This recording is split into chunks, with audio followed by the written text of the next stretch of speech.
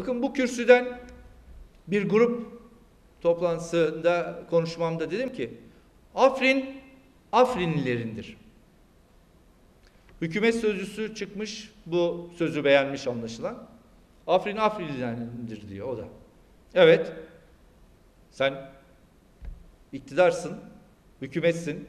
Bizim bu sözümüzü alıp tekrar bunu bize söyleme. Eğer Afrin Afrinlilerinse sen çık oradan.